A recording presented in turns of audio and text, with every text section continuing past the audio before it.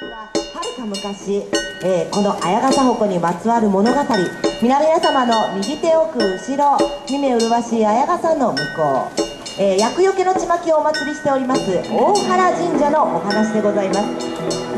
この神社の、えーおわす神様はですね福知山市天田郡三輪町より肝心なされました神様で縁結び安産といった、えー女性をお祭りしてくださる神様でございますが、えーその社には竜のひげと言われるものが一貫の巻物とともに収められております。お話ですね、えーその竜のひげ竜神様のお話をただいまよりご覧いただきたいと思います。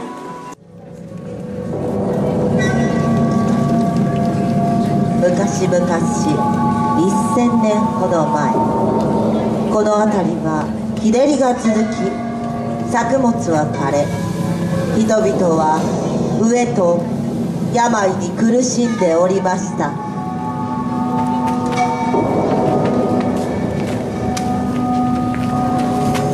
見かねた一人の村娘はピーナス家を説得し龍神様が住まうという湖に行き毎夜毎夜毎晩雨を降らせてほしいと願掛けを続けておりました。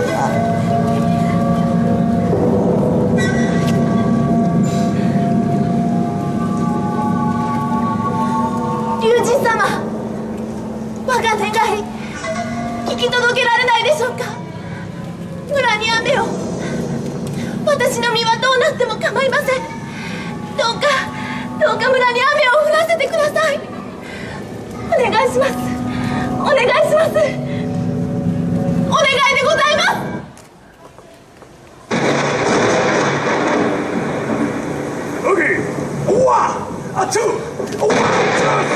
おおジャガジャガジャガジャガジャガジャガ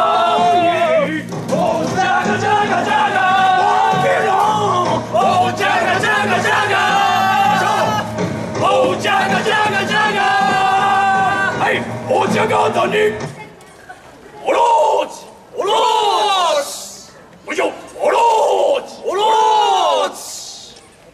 もしやもしやあなた方は龍神様へえそれはどうかなそこはどうかなここはどうかなだからなんなの我らこそは我らそこはだからここはここはそこよ。じゃが谷の龍神なり。娘良い覚悟だ。今宵そなたは白蛇となり我が妻となれ。私私があなた様の妻になれば村に村に雨を降らせてくださるのですか？それはどうかな？そこはどうかなそこはどうかなもうやめてってさあさあ我が妻になれ私は私はたわしの裸足の乙女ですうるさいえ娘私がえ娘させてかないとなんで僕が刺されなあかんねんなあの人にそんなおいおい何をしている。尻尾がお嫁に行けねえって。安心しろ。我らはオスだ。頭! イエーイ!シャー置いくいくな。シャーわかりました。私の身を捧げます。これ以上村の人たちが苦しむのは見ていられませんああ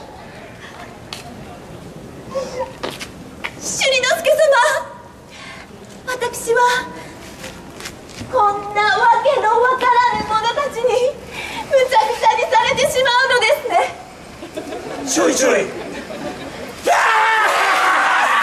娘そなたの願い聞き入れた。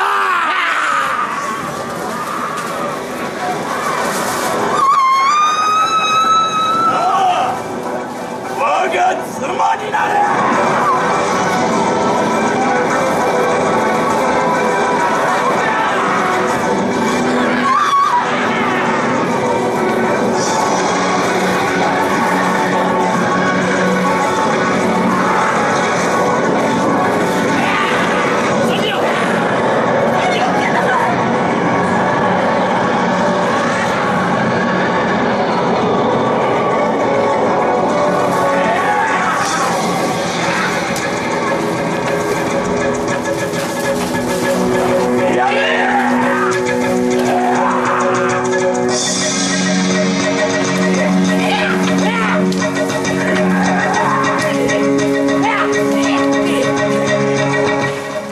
我が許嫁返してもらおう。ならん我が見初めし妻なれば二度と人間に戻ることかなわぬ小賢しい人間よされ我が力思い知らせてくれるわ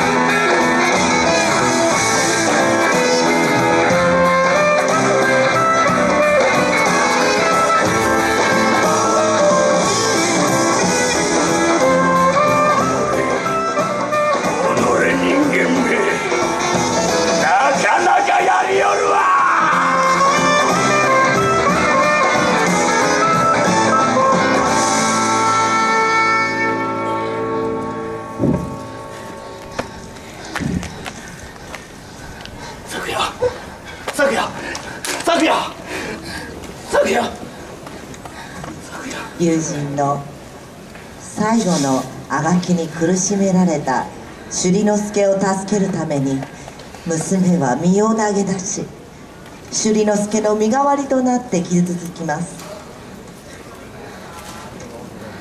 娘の助けによって辛くも龍神を退治できた首里之助ですがもう生きた娘に会うことはできなくなってしまいました。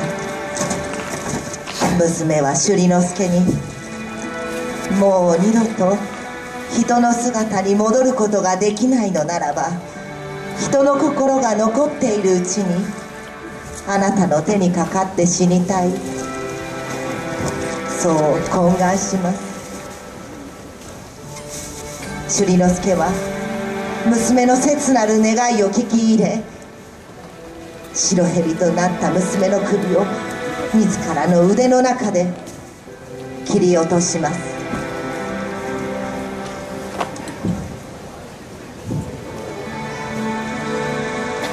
するとやがて落雷が響き滝のような雨を降らせました。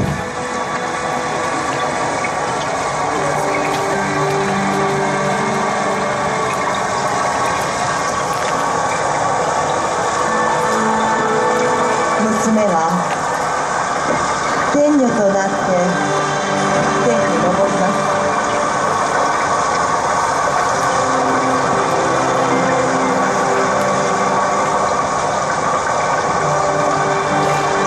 娘と朱里之助は村を救った英雄として祀られその時の戦いで切られた龍神のひげが今も大原神社に残っているんだとさ。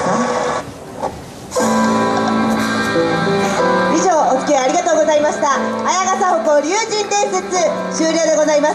本日は誠にありがとうございました。